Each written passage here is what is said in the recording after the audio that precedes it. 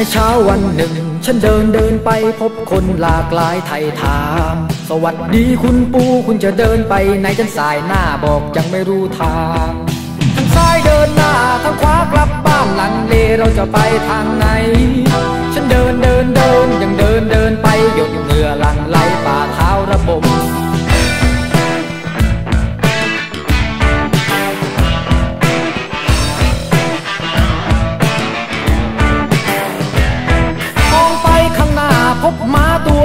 ามมาเฮ้ยมาจะไปไหน มาบอกเร่งรีบหลีกทางจะรีบไปดิ้นรนทำมาหากิน แต่หมายังสู้เราเป็นผู้เป็นคนไม่อดทนเห็นที่จะอายมา ตั้งหลักตั้งหน้ามองทางซ้ายขวาเลือกเดินไปทิศ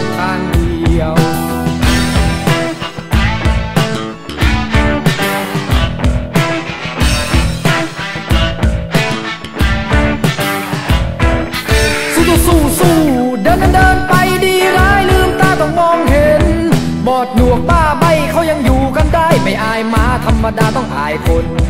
มองไปข้างหน้าพบหมาตัวหนึ่งถามมาเฮ้ยมาจะไปไหน มาบอกเร่งรีบหลีกทางจะรีบไปดิ้นรนทำมาหากิน แต่หมายังสู้เราเป็นผู้เป็นคนไม่อดทนเห็นที่จะอายมา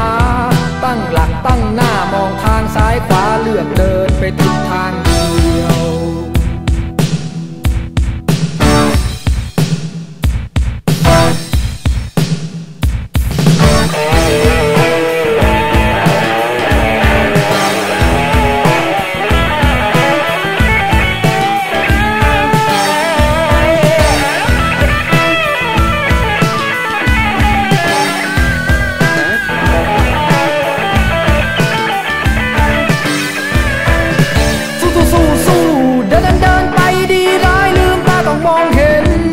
ดหนวกบ้าใบเขายังอยู่กันได้ ไม่อายมาธรรมดาต้องอายคน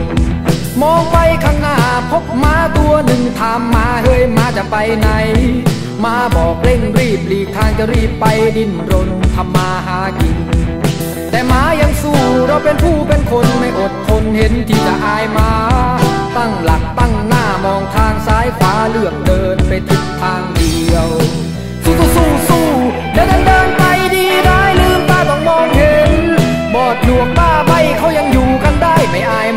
รรมดาต้องอายค